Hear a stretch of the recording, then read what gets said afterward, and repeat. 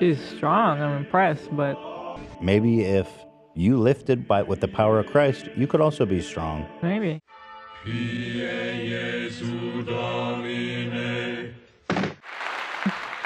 Jesus cured this woman. I love when this happens.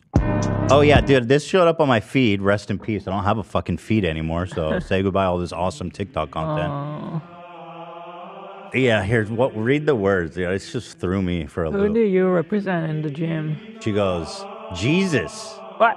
How do you overcome anxiety, low self esteem, and insecurities? She's Jesus, bro. Her doing pu- pull ups is like Jesus on the cross.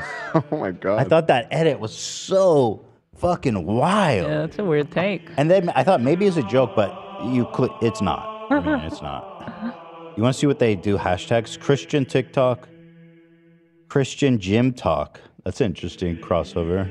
She's strong. I'm impressed, but Well, well, maybe if you lifted by with the power of Christ, you could also be strong. maybe. It was also kind of a hype edit. I thought it was pretty dope. Like, it syncs with the song. Oh, Yeah, it's yeah. dope. I hear it, but that's pretty batshit, though, right?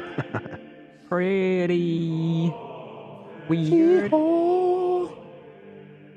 Um, somebody in chat said I, it's a joke. I thought it's I, not. I thought so too until looking at the profile. It's definitely not a joke. I double checked because it was so weird. I You thought guys maybe think it's a joke? It, it's not. she is 100% serious. Yeah.